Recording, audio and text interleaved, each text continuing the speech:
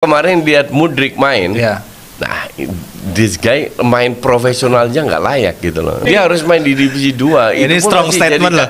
It, itu pun masih jadi cadangan. This guy is so poor. Benar-benar parah banget.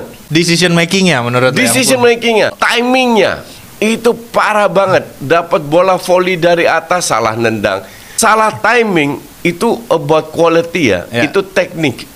Dan ini bukan pertama kali. Jangan bilang sekali dia bikin kesalahan go go libas, enggak.